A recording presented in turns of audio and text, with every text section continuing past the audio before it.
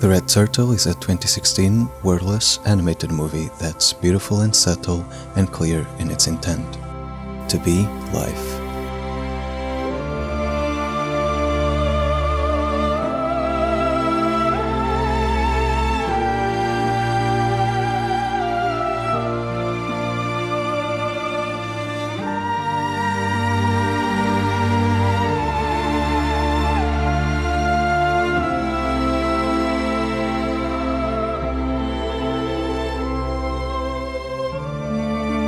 I love this movie.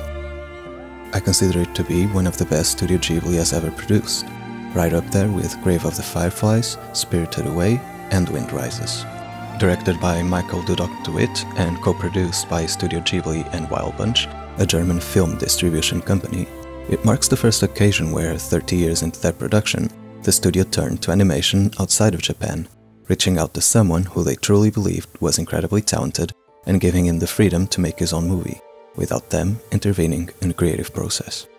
And it was this show of faith that allowed one of the most unique films in their repertoire to come to life.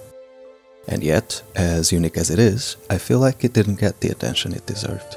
See, Ghibli's future was a bit uncertain in 2014, after legendary director Hayao Miyazaki announced his retirement, following the release of The Wind Rises in 2013, which led to a lot of their staff leaving to found Studio Ponoc, now among them was Hiromasa Yonebayashi, Miyazaki's protege and a talented director in his own right.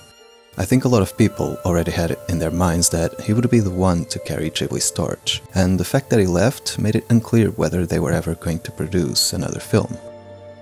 That is until The Red Turtle was announced and premiered at the 2016 Cannes Film Festival.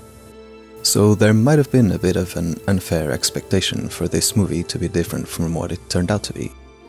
Both the art style and narrative are very distant from what fans of Miyazaki's or Isao Takahata's work may have expected. But here's the thing. At this point, I think it's a fundamental mistake to set any expectations at all for a film produced by the Japanese studio, instead of just enjoying it for what it is. I'm always excited to watch their movies because I never really know what I'm gonna get, and The Red Turtle stays true to that. But it also stands on its own as a beautiful piece of cinema, regardless of any association with the Japanese studio. It has a lot to say, but if you let your own expectations get in the way, you're going to miss that. So, what is it trying to say? What is the idea at its core?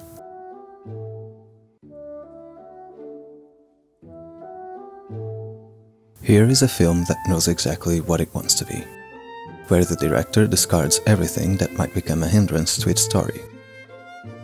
If we're looking for expositional dialogue, complex plot twists, or flashy animation, this is not where we will find it.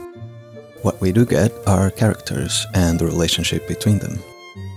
A setting that is beautifully executed without ever stealing our focus away from the characters. And sound, both in the form of the island's ambient sound or the brilliant soundtrack by Laurent Perez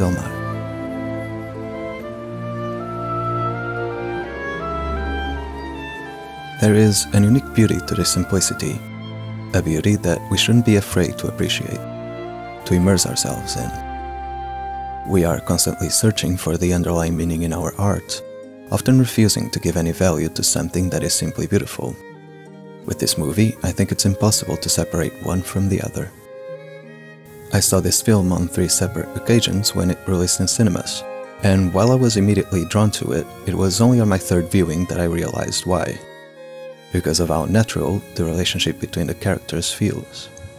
Like Joe O'Connell from Beyond Ghibli said, this is a character study through and through. Themes such as finding happiness where you are are present on a surface level, but anchored with core ideas such as loneliness and companionship, guilt and forgiveness, compromise and trust. I think this is a perfect description of the themes present in The Red Turtle. If you were to take the setting of a deserted island away, this would still be a story about people learning from each other and growing together, creating memories along the way, pushing through the bad times, and eventually coming to terms with the bitter sweetness of life. This is something we can all relate to. First time I saw the red turtle, it had been little more than a year since I'd moved to a different country. I went from a small, fairly quiet city to a buzzing metropolis, leaving most of my friends, work, and passion projects behind. I was still trying to make sense of everything. Life wasn't great, and a lot of those days were not very good days. It hit close to home. I could relate to the confusion, frustration, and fear felt by the characters. I could even relate to the sudden bursts of anger, because it is so easy to get lost. And that is why the Red Turtle is so important to me. It helped me remember something that I'd forgotten along the way. Life will sometimes be scary and confusing. Sometimes you will hurt, and sometimes you will be hurt. Sometimes you will have no idea what you are doing or where you are going. You will be overwhelmed and you will panic. And sometimes I'm still scared. Some days are still very bad days, but that's okay.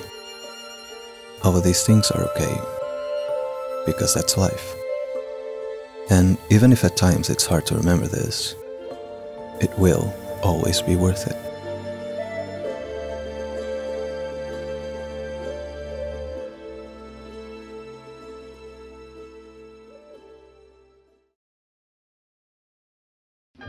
Thank you guys for watching this video. I'm not a filmmaker or editor, but putting this together was one of the most gratifying things I've done in a long time. I will be working hard on this channel, so keep an eye out for new content. A big thanks to Joe for allowing me to reference his work.